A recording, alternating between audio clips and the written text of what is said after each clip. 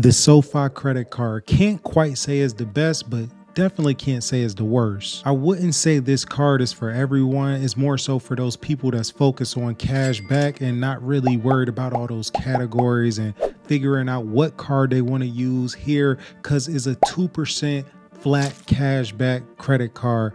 And some people just like it straightforward like that. And you know, we all love cards with no annual fees. And the SoFi credit card offers just that. It has no annual fees, flat 2% cash back.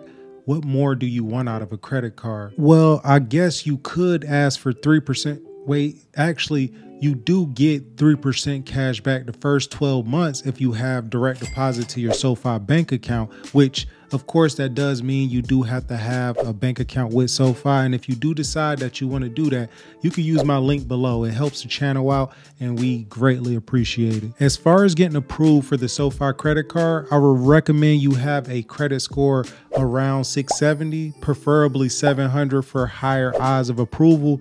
But it does vary. It does depend on the factors of your credit score, such as your payment history, credit utilization, and just stuff of that nature. So you want to double check that, make sure your credit score is in place and you're doing everything right by that before you go to attempt to get the SoFi credit card. On the bright side, when you apply for the SoFi credit card, they perform a soft pull, which does not affect your credit score. If you decide to take the line of credit on the credit card that you just got approved for, that's when they will actually perform the hard pull, which will affect your credit score. So just be careful of that. And if you're one of those people that like to travel, SoFi has you covered. You now have the option to get unlimited 3% cash back when you use your SoFi credit card to book through SoFi Travel powered by Expedia. And that's cool because SoFi also offers no foreign transaction fees. So when you use SoFi Travel, you don't have to worry about those annoying fees. And the SoFi credit card offers so much more. I'll throw it up on the screen right here, like this one right here,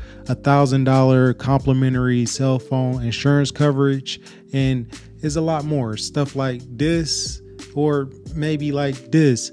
So if you do decide to get the SoFi credit card, make sure you use my link below to get an extra $50 if you are approved. Also, another thing you want to keep in mind with the SoFi credit card is the credit limit that you received is the credit limit you're going to have to stick with for now because Right now, SoFi doesn't offer a credit limit increase. Like I said in the beginning, this card might not be right for everyone, but if you like 2% cash back flat, you know, no complications, not really difficult to understand, uh, possibility for a high credit limit, great customer service, then this card might be right for you. But if you're like, an OG in the credit card game and you have a card for every category, then this might not be the right thing for you. And of course, I hate that I have to say this, but with any credit card that you apply for, if you do get approved, be very responsible with it. Pay your balances off in full. Use it right. Use it how it's intended to be used, not to fund your life or to help you get out of hard times.